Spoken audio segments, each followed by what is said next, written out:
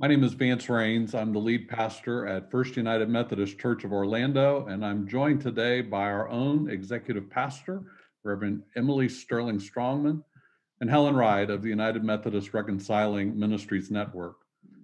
For many years, First Church Orlando has been striving to be a welcoming place for all people, including members of the LGBTQ community.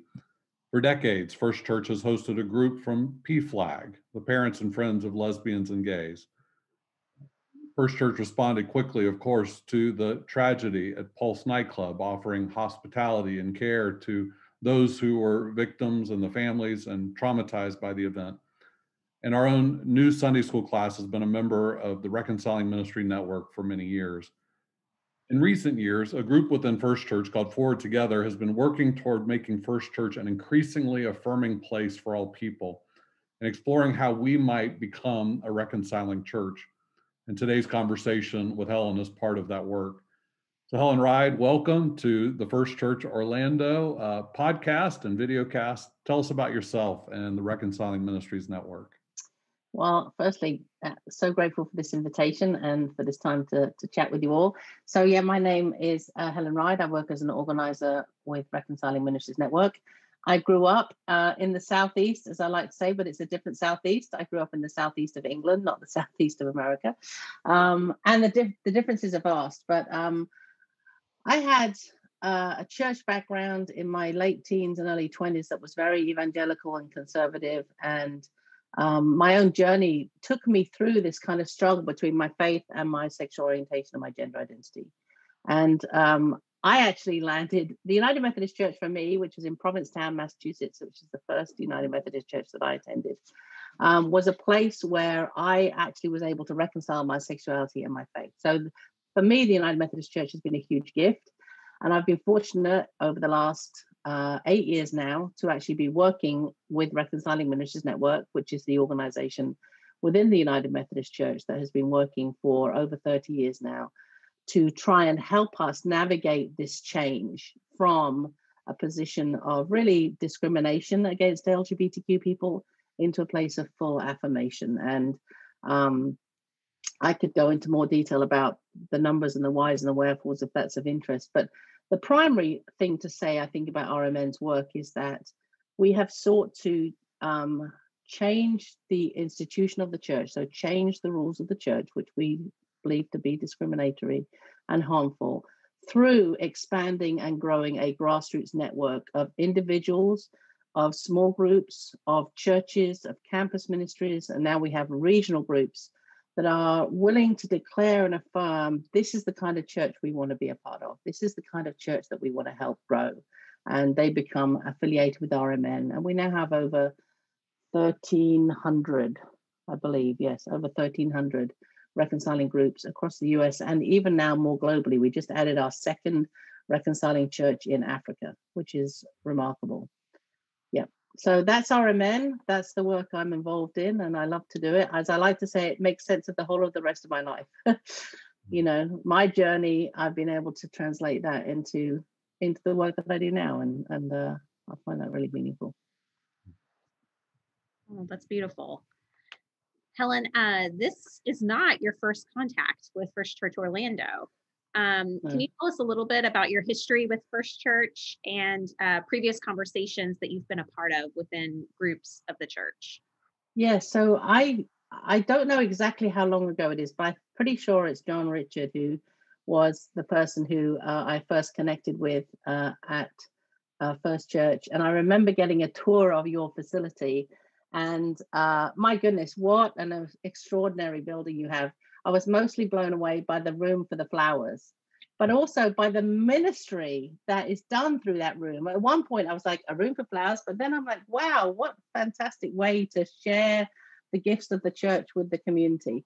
So yes, so I've uh, been with you. I've I've uh, met with uh, the folks from the new class. I've had conversations, phone calls, and different things at different times um, with folks in your church, and uh, just really I'm just very grateful for the for the fact that it's been a journey that you know started off maybe fairly small with a small group that was really committed to it. And they i mean the new class have been really committed to this for a very long time. And they have they have faithfully worked to draw others into the conversation and and help the conversation grow within the congregation and not in a way and I, I really affirm this this way of doing things right is by inviting people in rather than forcing people forward the mm-hmm. whole the whole purpose or the nature of reconciling work is bringing people together in a way that is uh, relational that builds connection doesn't pull people apart and i really think um, your process at, at first church has really embodied that value. And uh, I'm thrilled to be this little part of it now. part of the journey now is, uh, you know, is really great. So, um, yeah, very grateful for the work you all have done faithfully over a long time. I always say to people, this isn't a race. Mm. This isn't about who can get across the finish line first. This is about doing the work deeply, meaningfully, properly in relationship with one another. Mm. I think you're doing a great job at that. Mm. Well, thank you, Helen. I mean, you are segueing right into my next question uh, to talk a little bit more about what does it mean uh, to become a reconciling congregation? Uh, what does that process look like? What does it really mean um, to be about the work of reconciliation? How does it change us both as individuals and as a as a body um, as a community of faith? Yeah i think so uh, my feeling about the the journey towards reconciliation is that um, it's helping a church take a journey towards what it really means to love our neighbors. Like it's shining a spotlight on who really are our neighbors and are we truly loving and welcoming, accepting and affirming all of them. So I I feel as though um and also I want to just mention this that um this past year for RMN we have really taken an, another real deep soul searching look at and are continuing to examine the ways in which our work with churches and groups to help them become fully LGBTQ affirming has to include all the different intersections of injustice that people experience within their identities, which isn't necessarily just about them being queer, right? That we have to be addressing uh, racial justice, we have to be addressing uh, immigration justice, economic justice, and so on, if we are going to be fully leaning into this work um, in a complete in a complete way. Um, so, I think um, what it means in terms of actually affiliating with Reconciling Ministries Network within the larger United Methodist Church is our reconcile. My dog Bella would like to join in this conversation, but I'm going to try and ignore her. Um, what we are what we're seeking to do in the United Methodist Church is we are we are mir- we are mirroring the idea of connectionalism within the United Methodist Church, right? So one of the things that sets us apart as United Methodist is the fact that we value connection. I think that's one of the reasons why this whole journey towards becoming a more inclusive church has taken so long, because we're not prepared to just set that connection aside mm-hmm. and say it doesn't matter anymore, because it does matter. And so, Reconciling Ministries Network is a connection of churches and groups and individuals that have this common um, perspective and, and faith and desire to see uh, a church be built, to see a church emerge that is fully LGBTQ inclusive and affirming, and that we're doing it in connection with the greater connection. So it's not about connecting and, lo- and moving outside of who we already are, right? It's about connecting within the connection and that's a really important part of, of i think what people i hope people understand uh, because that's not always how RMN has been spoken about, right, by others who might not agree with us. But a core part of our values is that we we are in connection within the connection. It has never been about, you know, come and follow us to this new place, this new land of inclusion and whatever. It's about no, we're in this journey together. We don't get to sort of say we're not part of you anymore we're in this journey together. And so for for First Church and other churches like it that are that are undertaking this journey, I, I think I, I really hope people understand that that's what it's about. It's not about uh, about setting yourself aside as or better than or anything like that. It's about just saying, you know what, this is really we feel passionately about it.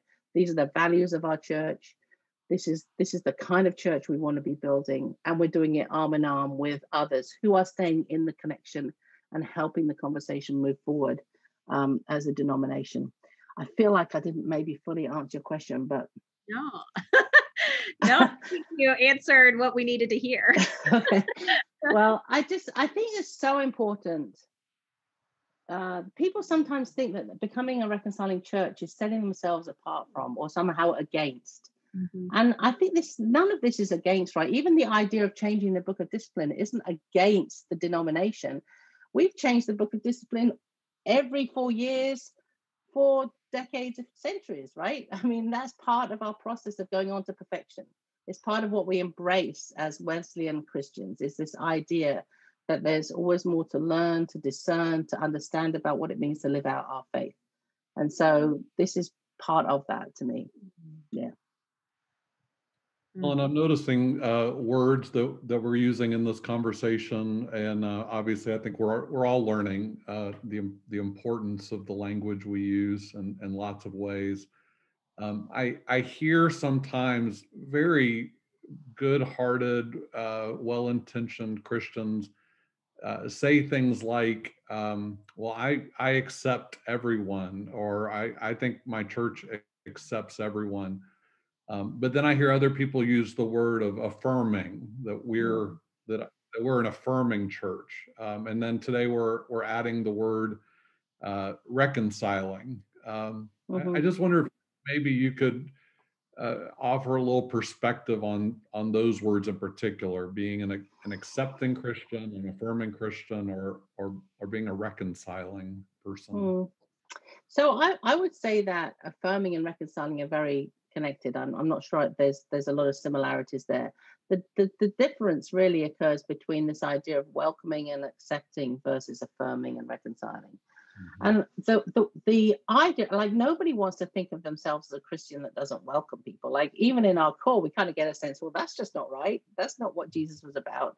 But there is something different about saying to someone, "You're welcome here," and then when you dis- when, when you dive deeper into re- knowing who the person is and and uh, maybe how the, their sexual orientation or their gender identity that suddenly there's a layer of well actually hang on a minute.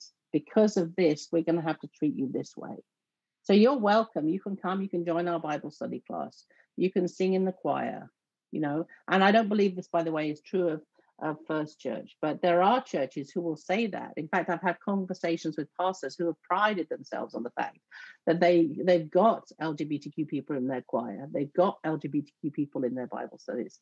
But when it comes to, for example, leading a Bible study or being a leader in a uh, in the children's work or or youth work or you know uh, being um, in the trustees or on the PPRC or what what what other other way, ways of leading in the church we have that there's a barrier. So in other words, you're welcome to a point. And so I think that's the differential for me between welcoming and accepting. And really what it comes down to is this. It comes down to do we believe that LGBTQ people are fully human like any other kind of person? No matter their sexual orientation or gender identity. Because as soon as we put a block on someone or a barrier up, and it's because of their sexual orientation and gender identity, we're essentially saying, you know, you're okay up to a point, but this part of your identity sets you apart and means that you can't do this, this, or this. And in the United Methodist Church, obviously, the key things are you can't get married here. We don't really affirm your relationship we we we're not going to support you um, honoring your relationship before God and before the community. Or God may have given you gifts and graces, but they can't be worked out in ministry as a as a pastor in the church, as an elder or a deacon in the church. So that's that's that's the that's the line, right? That's the difference there. And I think when it comes down to it, when people kind of unpeel the layers, it really comes down to our LGBTQ people fully human like everybody else. And reconciling and affirming Christians would say, absolutely, 100%. Mm. You know, I'm left handed. Um, that doesn't make me any less human than my right handed siblings, right? Uh, I have brown hair going a little gray. That doesn't make me any less human than my blonde hair or whatever. So that that that my sexual orientation and my gender identity doesn't make me any less human, any less fully human uh, than anyone else. And that's what that's that's the difference in point, I think. And I, I, sometimes I think people can get un, a little uncomfortable with that because that kind of will bring them up short and like, gosh, am I really? Is that really what I'm saying when I say I want to welcome everyone, but I'm not so comfortable with this? Mm-hmm. Am I really saying that I don't believe this person is fully like that is that's an uncomfortable point but i think change only comes through moments of discomfort right? We have to have that moment of oh hang on a sec. I don't know if i want to be a person who believes that. That doesn't feel comfortable to me. And that's sometimes the moment which helps us move forward and to change. Right. Yeah. Thank you for that clarification. I think that's i think that's helpful for all of us. Yeah. So the conversation you know that we've been having with you, kind of how we've gotten to know you, has been specifically around asking the question, you know, what what would it look like for First Church Orlando to become a reconciling church and, and affiliate with the, the Reconciling Ministries Network? Um, we're we're in a, a strange moment in the United Methodist Church that mm. you've already referenced. Uh, many many pretty confidently believe that we're about to split and that that more theologically conservative traditional churches are likely to leave and start another denomination. And, and so the question might be raised, you know, since that's already happening, um, what what's the point of becoming a reconciling church now in light of that? Um, mm. And and so I'm curious your perspective on that. What what what's the point um, if if if it's kind of sorting itself out anyway? Mm. So I, I yes, I, I hear that um, concern, and I, have you know that's not an unusual concern for people to have. So folks should feel good. I mean, you know, it's okay to be thinking those things, right? So, but I think that there's a couple of things. One is just from the perspective of being a church, right? Never mind United Methodist Church. Never mind, um, you know, what denomination or whatever for the most part, for LGBTQ people, the concept of walking over the threshold of a church, which I know not people aren't doing right now, but when we do that again, the concept of walking over the threshold of a church is one that's undertaken in fear and trembling because so often there is no certainty about whether they will be accepted fully um, as who they are in that in that church. So simply by being a church, a Christian church in the United States of America, I think um, requires us to consider what are we saying about who we are to those who are outside of our doors. Um, so I think that's a reason, and that's outside of the denomination. People need to know how they're going to be greeted and welcomed and affirmed inside the doors before they get there. And becoming a reconciling church is one way uh, of, of doing that. I would say, from the denomination point of view, if you look at other mainline denominations who have taken this journey towards a more inclusive stance, there has been a an ongoing journey that carries on behind that. So let us say, for example, you know, we end up actually having a general conference, votes are actually taken. We we maybe, you know, pass the protocol or we regionalize the church. We have a church in the United States that is able to change the book of discipline. The fact of the matter is that most of our churches that will be in that denomination will not have done the work of determining how are they going to be around this conversation? And this is this has been played out in presbyterian churches in lutheran churches and so on right? Is that there is still a process of churches having to say not only is our denomination said this but we are firmly behind it and this is what we're about. And i still think that will be part of the journey for united methodist churches going forward is the need to um, be clear and public about the fact that yeah this conversation has happened here and this is where we stand. Um, and so I anticipate that um, the idea of reconciling churches is going to continue. Um, I have a colleague that works for More Light Presbyterians, which is a an organization very similar to RMN within the PCUSA church, and they continue even several years now since the denominational change. They continue to have churches that are doing this work and continue to have churches that are aligning themselves and saying, yes, we're a more light church because we've done this work. So I don't see this as being um, an either or kind of thing, or and I I don't see it either as being a wait and see thing, right? I know there's some kind of like, can't we just wait and see what happens? Well, I don't think so. I think it's really important, and I would say this too: First Church Orlando in the in the Florida conference, you know, it's a significant church. and your leaders. Uh, and so I believe that the path you've taken is a leadership is taking a leadership path, is taking a leadership role within the conference to say this is how a large church like ours, a diverse church like ours, can navigate this conversation and come through to this point and this perspective. And I think that is also an important role to be considering as the church considers the next steps here. Um, some people, you know, lay the path for others to follow. Mm. And uh, and within Florida, we have, you know, a bunch of reconciling uh, churches now, but not that many. Um, and so I think it would be um, really helpful. It kind of gives permission to other churches to say, "Oh, okay, we should do that too." I, I, I just want to thank you for saying that, and that's not the first time you said that to me, and um, that that reminder of the importance of First Church Orlando to uh, accept the mantle of leadership, um, mm-hmm. particularly uh, on, on, behalf of, of folks in the LGBTQ community, oh. and to lead the way for other churches. That I, I think I think that's a high calling, and um, and thank you for the challenge, and that that you see us in that light. Um, it's good for us to be reminded yeah it's important. I mean uh, you you have been exhibiting that. Like this step would not be the the you know it would be a step in the journey. That the response you all made to the pulse tragedy was um outstanding. And and and all the things that one would hope for a church to do in that in that in the light of that you all did. Hmm. um and so um this isn't maybe even going to be the most important step you take on the journey of being leading in that way but i think it is a step in the journey of leading in that way.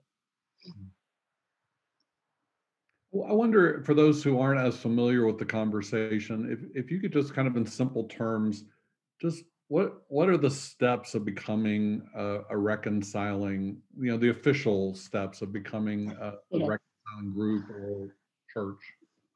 Yeah sure. So the the the official steps are so there are like some five final steps. They're like, this is the final bit, but really it's the preamble to the final bit that's important. And really that's the piece that you all are already doing, which is engaging in congregation wide, deep conversation about what does it mean to welcome, affirm, fully affirm LGBTQ people in our congregation. So the education component, and this is probably a part of that, right, is is a really important piece. So once once that piece is done, there are several steps towards the end of the process. One that we strongly recommend, and I, I don't recall off the top of my head whether we've talked about this before, but we really strongly recommend taking straw polls around the vote. So, in other words, that you don't have a final vote until you're ready for a final vote. Mm-hmm. Um, the straw poll is a way of really honoring the process and ensuring that everyone's questions are heard. So, one of the things that we recommend is that language something along the lines of if we were to vote to adopt this statement today and affiliate with Reconciling Ministries Network, would you vote yes or no?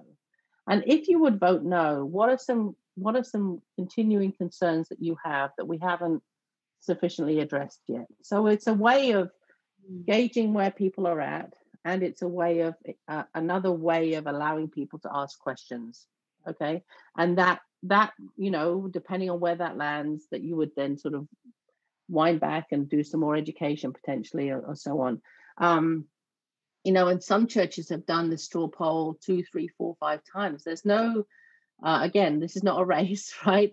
This is about bringing as many people along as possible on the journey to a vote that says yes and so that when you do finally take the vote you've already taken enough votes to know what your vote what the what the response is going to be. Because because this is a relational process. This is not a i wonder if we can win right? This is not election night. This is a journey that we take together. And in full transparency of the journey we take together where are we at right now? Okay well we just voted and we got this percentage that said yes this said no. We recommend at rmn that you have 75% of the church, active church members who affirm the decision. Um, it's not a simple majority. This should be because when you're doing this, you're saying this is who we are. this is not this is who we aspire to be, but this is who we are. And so it's important to have a supermajority of people. So you go through a series of straw poll votes, maybe one, maybe more than one. Then you do a final vote. The final vote, you're going to know what the result's going to be. um, and uh, and then there's a uh, just a form to fill out and a photo to take. And we are we do um, encourage our reconciling churches to be financial supporters of RMN. We, it's not a requirement. There's no it's not a membership fee in that way, but we are very strongly dependent, increasingly dependent actually, on our reconciling churches and individuals to support our work.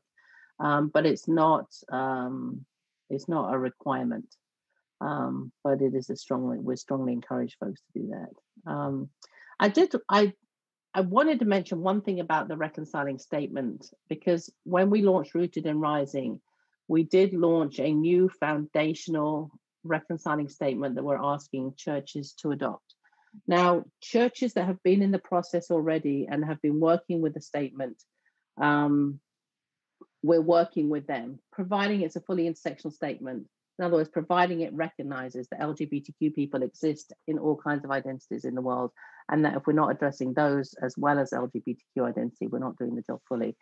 So, one of the things I've been talking to churches about is the idea of of crafting your own personalized statement and at the same time also affirming the RMN statement. So these two things don't have to necessarily be the same, but there is a need to affirm RMN statement in the process of, of affiliating with RMN. Um, we needed some kind of consistent uh, process, and this is what we landed on. So um, mostly I have found actually that churches uh, are grateful to have some language that they can use. Recently, I was just on a call with one of our long-standing churches, uh, Dumbarton United Methodist in Washington, D.C. They've been a reconciling church for 34 years.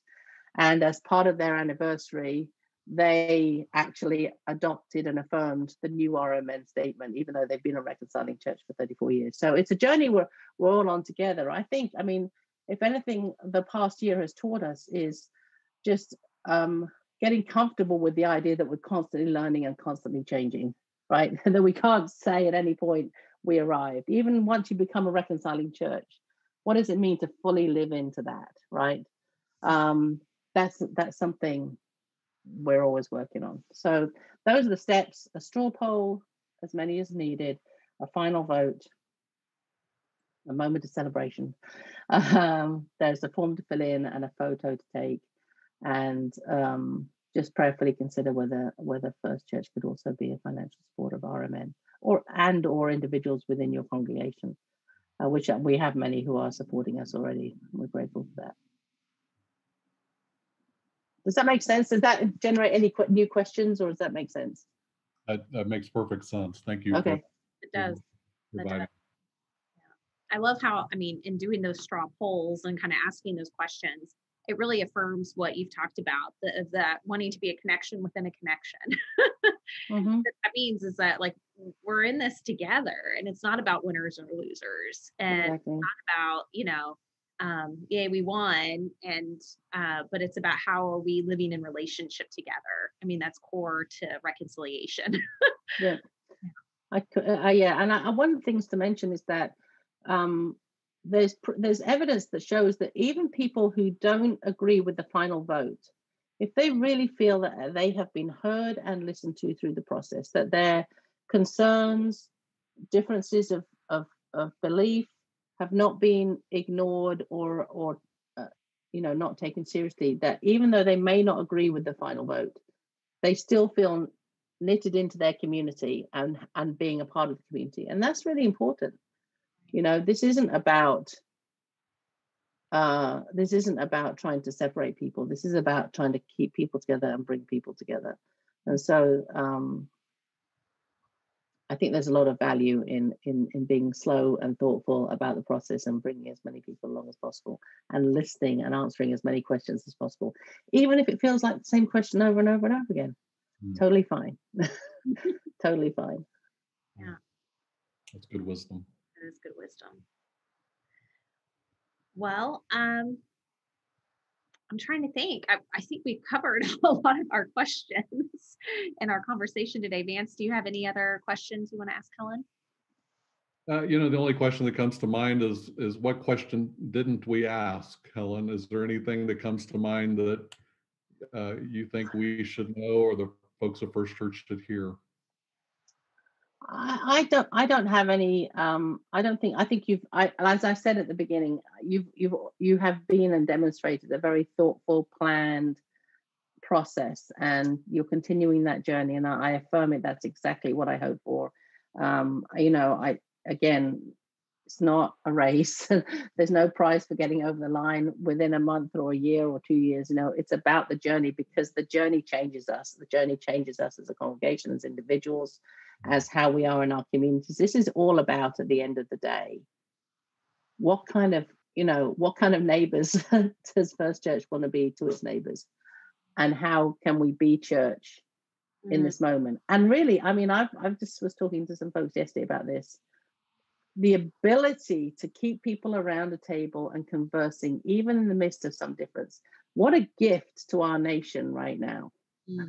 right? What a gift to never mind leadership in the Florida Conference in the United Methodist Church. What a gift more broadly to be a community that is committed to staying around the table amidst difference and continuing in relationship with one another. I think that's a huge role that is much broader than reconciling, that is much broader than uh, United Methodism, right? It's about how are we going to be as as neighbors in our communities um, uh, you know, across all kinds of conversations. So I think that that is the bigger picture that's happening here for me as well in our in our churches that are engaging in this, that are not running away from the hard stuff, but are leaning into it. Um, I think it's a gift. I think it can change our communities. I think it can transform the world, which, as I believe, is one of the things United Methodists is supposed to be about. right? I think it does it. I really do. And uh, yeah so i just want to encourage you and thank you and affirm the work you're doing it's it's fantastic mm. love the question what kind of church does first church want to be for its neighbors that that can guide us in all the right ways absolutely guide us in this conversation but guide us in all that we do as a church in in ministry and mission and um, vision and kind of how we're living in relationship with each other inside our walls and beyond sure for sure. Well, thank you, Helen. This conversation has been a delight.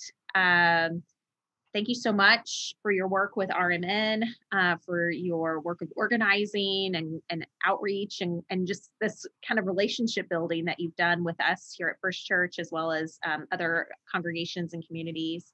Thank you for sharing your time and your wisdom with us today. Um, if anybody would like to learn more about RMN, um, how would they do so? Uh, so our website is rmnetwork.org. They can email me. I'm Helen at rmnetwork.org. Uh, we have a Facebook page that has quite a lot of stuff going on it too. So yeah, please uh, encourage. I'm happy for you to send out my email address. Folks have got questions. If individual members within the congregation want to stay connected with Reconciling Ministries, you can become a Reconciling United Methodist as an individual, and you can do that on our website. There's there's a place to get involved tab, and you can you can do that right there. So yeah, we'd love to have uh, more folks connected. I, Bella is desperate to be part of this conversation. I, I'm not sure how much of the noise is getting through, but she's like, "Let me join in." Oh. well, it's been so nice to talk to yeah. you, Bella, today. Wonderful. Wonderful. Thank yeah. you. Thanks for the invitation. Appreciate it. Thank you. And thank you to our listeners uh, who will be joining us uh, today and in the weeks to come, hearing this conversation and reflecting on how um, how we can move forward here at First Church. Thanks, Helen. Bye.